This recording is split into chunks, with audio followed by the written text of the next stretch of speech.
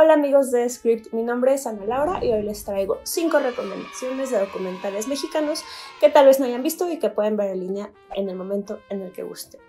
Si ya los vieron, también es un buen momento para regresar a ellos, asomarnos a otras vidas y pensar en el mosaico de realidades que siguen existiendo mientras nosotros vivimos nuestras vidas diarias. Número 1. Tempestad.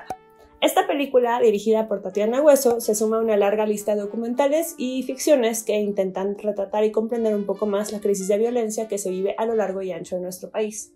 A partir de las historias de dos mujeres de lugares, de lugares distintos del territorio mexicano, Tatiana Hueso recorre caminos y rostros para, de alguna forma, demostrar que esto que no sucede o que sucede en México nos alcanza a todos, que hay experiencias plagadas de un dolor que no podemos imaginar y que nos concierne pensar en estas experiencias, mirarlas de frente.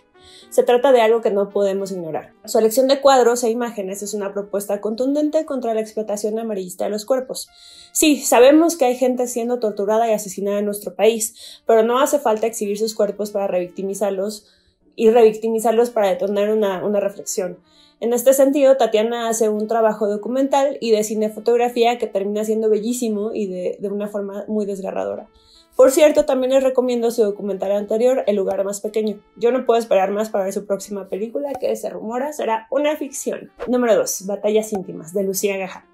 Esta película se conforma por los relatos de mujeres de distintas edades, provenientes de distintos contextos, y sus experiencias con la violencia machista que sucede en el hogar.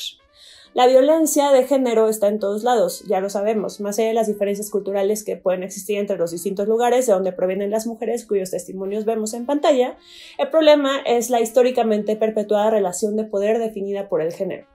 Me cuesta mucho trabajo hablar de la existencia de películas necesarias. Yo lo que creo realmente es que son temas necesarios lo que existen.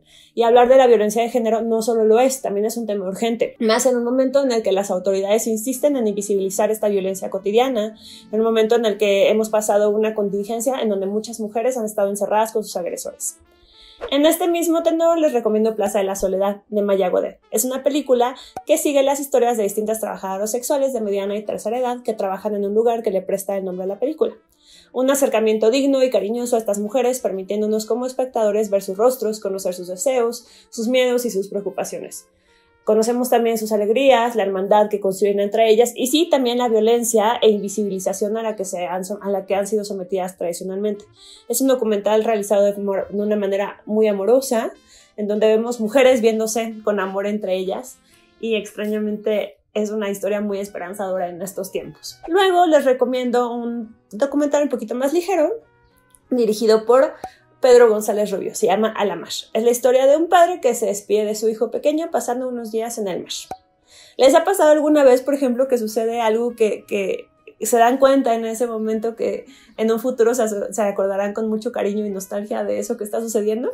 Algo así es la sensación que emana esta película. Es una historia preciosa y entrañable que además explora una paternidad tierna y amorosa que raramente vemos en las pantallas. Entonces, muy recomendada. Y finalmente les dejo uno de mis más grandes favoritas películas de todos los tiempos, La danza del hipocampo, de Gabriela Domínguez Rubalcaba. En esta película, la directora rescata videos familiares para construir una secuencia de recuerdos que la definieron durante su vida. Es un ejercicio fascinante que nos permite reflexionar sobre la construcción y mecanismo de los recuerdos, sobre las memorias individuales y familiares, sobre el cine como dispositivo de almacenamiento de vivencias y sus propios límites para hacer ciertas cosas que son simplemente inasibles. Todos estos documentales, ahí va la buena noticia, están disponibles en Filmi Latino ya sea por renta individual o con la suscripción. Así que son ideales para ver en casa en cualquier momento que deseen como asomarse a otras realidades. ¿Qué opinan ustedes de esto? ¿Han visto alguno de estos documentales? ¿Tienen algún otro documental mexicano que les guste, que les haya movido de manera como entrañable? Déjenme aquí sus comentarios. Nos vemos en otro video de Script. Sigan nuestras redes sociales y cuídense mucho.